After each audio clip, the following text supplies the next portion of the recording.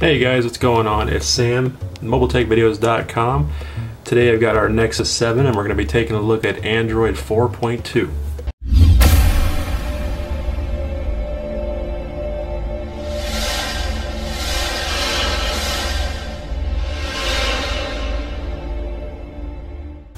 So I'm just real quickly going to point out some of the new features of Android 4.2. This is CyanogenMod 10.1 and it's actually Android 4.2.1 so there you go. One of the main new features is the widgets that you can place on your lock screens now. And there are currently four widgets that you can get Gmail, calendar, this uh, music or uh, song identifying widget.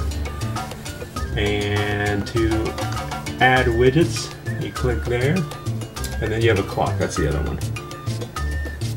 So the nice thing about it though is if you have pin unlock or password unlock or pattern unlock, you can't just enter your phone through these widgets. You have to actually put in the pattern or whatever.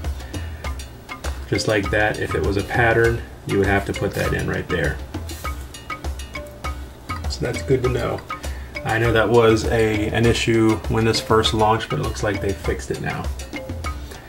The next one is the notification bar. Uh, if you drop down on the left side, it pulls down your regular notification bar and you see there's a little bit of a bounce effect. If you pull down on the right side, you get your system quick toggles, including Wi-Fi and airplane, brightness, GPS and such. You even get the user information one, which I don't have it set up right now, but that's pretty nice.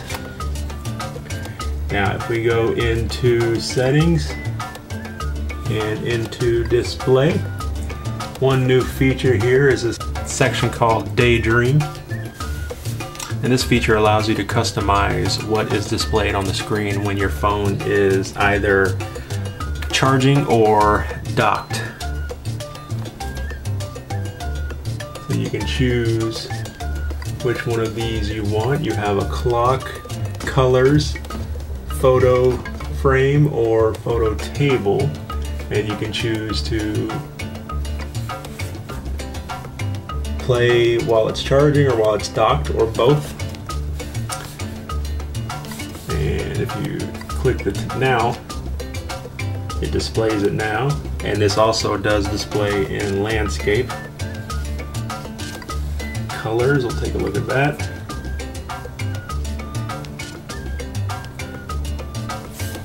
And I don't have photos, so these don't work right now, but you get the idea. Now,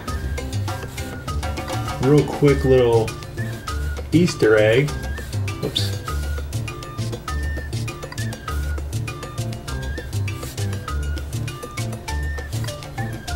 Everyone knows here that if you go in and you tap the Android version, you get your Jelly Bean and you get the Bean Flick game, which is a lot of fun. But once you have played that, and you go back into display, and your daydream, the bean game is in here now. Oops, wrong one. So you can have this playing on your screen. And you can play the game whenever you want. It's a cool little hidden feature there. So that was it guys, real quick video showing you some of the features of Android 4.2. If you get the chance to put it on one of your devices, I recommend it. Thanks for watching, guys. This is Sam with MobileTechVideos.com. You can follow us on Twitter and like us on Facebook, and we'll see you in the next video.